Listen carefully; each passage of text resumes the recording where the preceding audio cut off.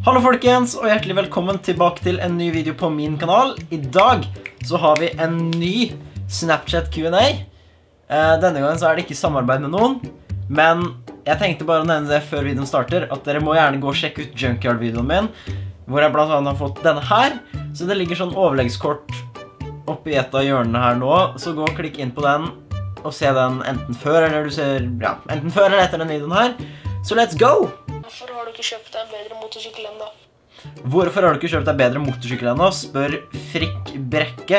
Grunnen til det er fordi jeg ikke har motorsykkellappen. Jeg kjører fortsatt på mopedlappen. Om jeg tar mellomtung til året, så kjøper jeg jo en større motorsykkel. Hva er ditt favorittmat? Ha det. Det tror jeg svarte på i forrige Q&A også, men favorittmannen min er taco, som vi skal spise i kveld, så jeg gleder meg masse. Hallo. Mitt spørsmål til Q&A er hvilken PC-skjerm er det du bruker når du gamer? Hallo?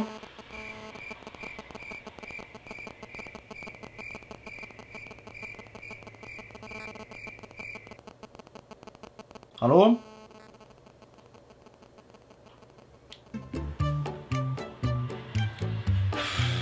Thank you, Marte. Thank you. Jeg lurer på om du er full. Ja, Kan du please svare på det? Ja, jeg er kjempefull akkurat nå. Hva ville du gjort hvis du ikke holdt på med YouTube? Da ville jeg nok trent enda mer enn det jeg gjør nå.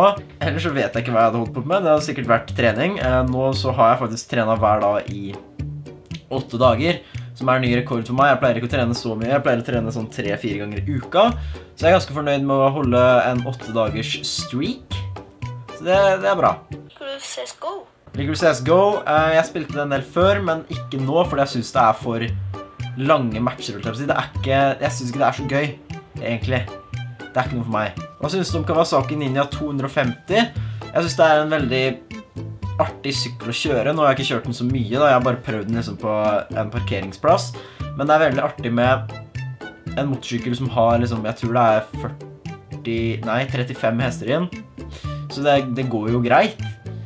Men det er ikke favorittsykkelen min. Jeg vil heller ha en supermotor, men det er jo det jeg vil ha, da. Hvem er Norges beste motorblogger?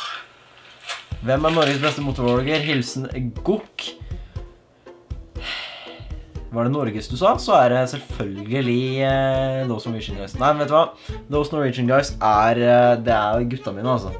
It's my boys. Kan du skinne deg? Hæ? Kan du skinne deg?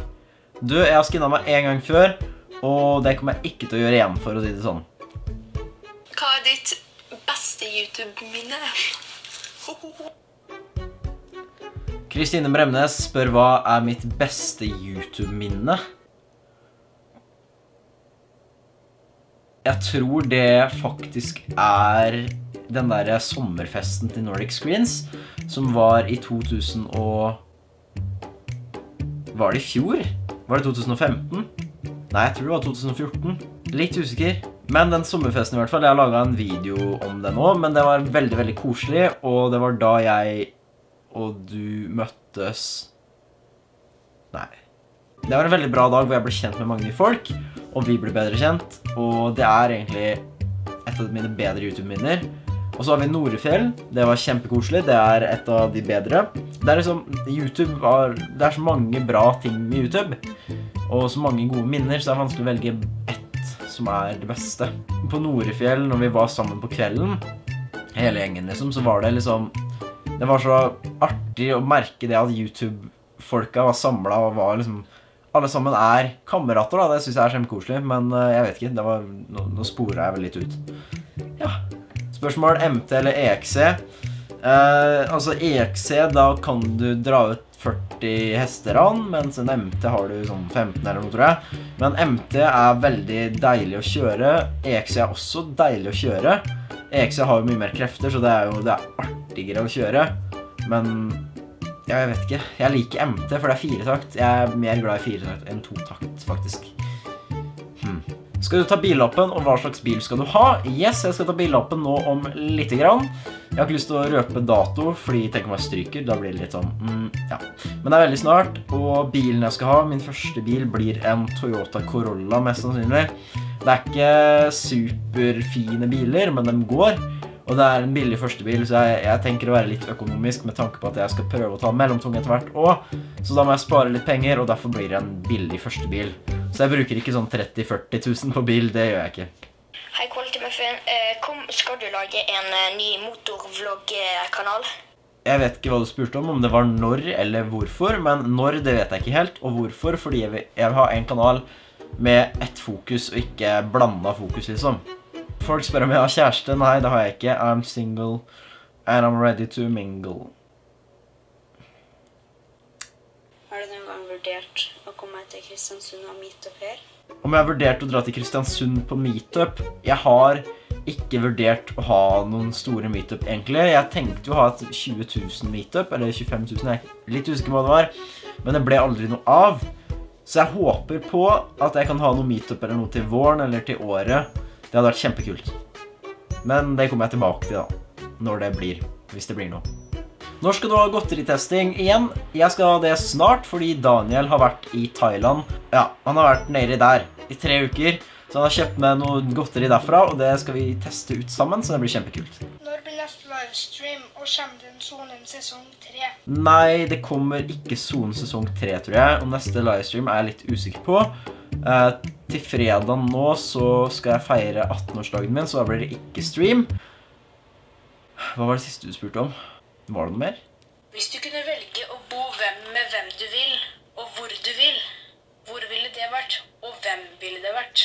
Det ville vært med Daniel, og vi skulle ha bodd i USA. Best buds for life. Hvor gammel var du da du ville være 15 år? Liker du fårikål? Ja, fårikål liker jeg. Hvor gammel er mammaen og pappaen din? Mamma er født i 62, og pappa er født i 58. Ville du bytta tempoen i en Yamaha VRX 125? Det hadde jeg gjort lett. VRX er eh, Det er Åh, jeg digger VRX, ass. Lev it. Jeg merker det at det blir veldig mye motorsykkelspørsmål, så det er kanskje ikke så relevant for alle sammen. Det beklager jeg. Men eh, det er bare å følge med på Snapchat på erlings98 og på Instagram Stenbraten. Der oppdaterer jeg med når jeg har nye Q&As, så da er det bare å bli med og stille meg spørsmål. Hva tror du du driver med om ca. to år? Om to år, da er jeg 20 år. Jeg håper jeg Jeg vet ikke, altså Jeg går nok på skole, tror jeg. Jeg studerer nok. Og jeg håper jeg fortsatt driver med YouTube. Jeg håper jeg har eh, motorsykkel. Det er litt vanskelig å tenke på. Altså, Jeg tenker ikke så mye på fremtida sånn egentlig. Jeg burde kanskje gjøre det mer, fordi jeg vet faktisk ikke hva jeg skal gjøre etter videregående heller. Eh, Jeg vurderer å ta et friår og fokusere masse på YouTube. Og kanskje få meg en jobb på sida, fordi jeg vet jo ikke hva jeg vil gå videre. Så jeg føler det er bedre med et friår enn å gå på noe jeg ikke vil. Siden jeg ikke vet hva jeg skal gjøre neste år, så er det vanskelig å vite hva jeg gjør om to år. Kommer du til å ta lettlappen? Nei, lettlappen kommer jeg ikke til å ta fordi jeg tar mellomtungt i året, mest sannsynlig. Hva tenkte du når Donald Trump ble valgt som president? Altså, jeg trodde ikke at Hillary skulle vinne, fordi jeg visste at det var så mange som var imot henne. Men det er veldig mange som er imot Trump også, så jeg ble litt sånn Hvem kommer til å vinne? Det vet jeg ikke. Men ja, Trump vant. Jeg ble ikke sånn sjokkert over det, egentlig. Men brått så gjør han masse bra for Amerika og verden og everything. Hvem vet? Han er jo ikke president ennå. Men jeg syns folk er for negative til det at han er president. Fordi brått så gjør han veldig mye bra. Folk var veldig kritiske til at Obama skal være president òg, men jeg syns Obama har vært en veldig bra president. Så brått så blir Trump også en bra president. Men selvfølgelig så har han sagt mye dritt, og det er ikke bra. Så skjerpings Trump. Fy. Fy, fy. Hvorfor spør folk om det samme i hver video? Er det ingen som har sett mine forrige Q&A?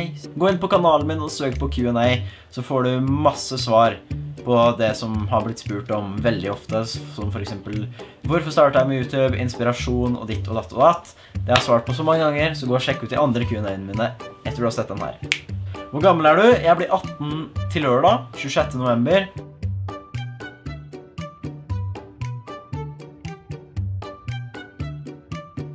Hva husker du best fra Spillekspo? Det var eh, at vi lette så sykt lenge etter Jottersen når vi skulle kjøre inn til Lillestrøm fra Ski. Hva gleder du deg mest til med russetida? Hva gleder du deg mest til med russetida? Jeg gleder meg mest til å bli kjent med nye folk. Fordi i russetida så blir du kjent med masse nye folk, og det gleder jeg meg faktisk mest til. Og selvfølgelig å feste. Angående russetid så syns jeg alle sammen kan gå inn på Spotify og søke opp Solguden, og så høre på Solguden fordi han har mange bra russelåter. Også Ludvig Nilsen har også en del eh, lættis russelåter. Så Ludvig Nilsen og Solguden, det står sikkert på skjermen her et sted. Så gå på Spotify og følg dem og hør på låtene deres. Har du røyka? spør Joakim. Nei, jeg har aldri røyka, så det skal jeg ikke gjøre heller. Hva er din favorittsang?